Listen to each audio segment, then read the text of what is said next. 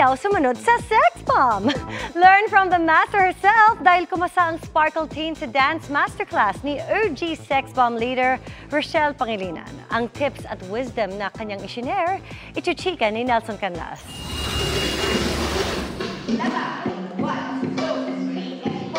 Hataw kung hataw.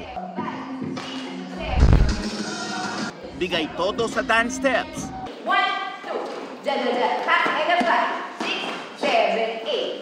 Ang mga Sparkle teams sa kanilang dance workshop with OG Sex Bomb leader and kapuso actress Rochelle Pangilinan. Huwag niyo siyang ilaglag.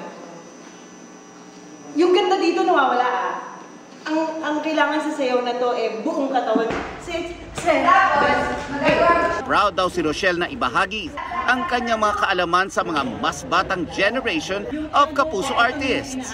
Siyempre, mas gusto kong mas gumaling pa sila. And ang workshop naman talaga na gusto kong gawin for them, ah, magkaroon ng disiplina sa sayaw, eh, respeto sa coworkers, Para kay Rochelle, hindi lang galing sa paggiling at ibang movement sa pagsasayaw ang gusto niyang matutunan ng mga bagets. Bukod sa health ng mga bata, um, less social media and mahalin nila yung sayaw.